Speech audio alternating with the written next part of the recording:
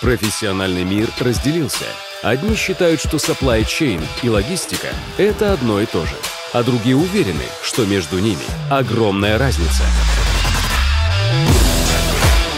Но надо понимать, что мы здесь не только про логистику, но и про supply chain. Логистика – это часть, часть цепи поставок. Это лишь звено всеобъемлющего процесса.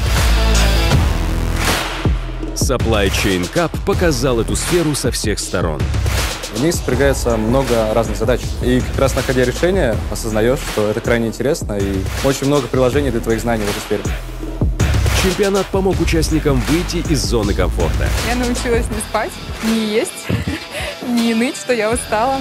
Я научилась слушать и слышать свою команду. А представителям компаний-партнеров позволил увидеть будущих коллег.